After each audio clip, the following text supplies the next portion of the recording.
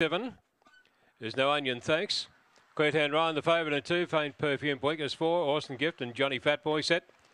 Ready, the racing, very slow to move at consumption. And Paulie out two, Cleartown Ryan. Going fast, there was faint perfume after the start. Moving out quickly, Johnny Fatboy round the outside. And Johnny Fatboy made a charge from the outside. Led by two or three now to faint perfume. Getting up on the inside, Lily the Thief. Gabbing the race and horse gift no onion, thanks. And they were followed then by a Cleartown Ryan, Mariah Bar Consumption in the straight though. It's all Johnny Fatboy. And Johnny Fatboy's an easy winner at the end over Lily the Thief. And third would go to faint perfume. Followed then by Cleartown Ryan, horse gift. Uh, next in the race there, Consumption. Out near the tail on the field would have been Mariah Bell and No Onion Thanks. And the time around 22, 50, uh, 25, 58. Time around 25, 58. Number eight, Johnny Fatboy will be the winner here. At about $14 thereabouts on SuperTAB. About $14, Johnny Fatboy by My Redeemer from Come On Fantasy.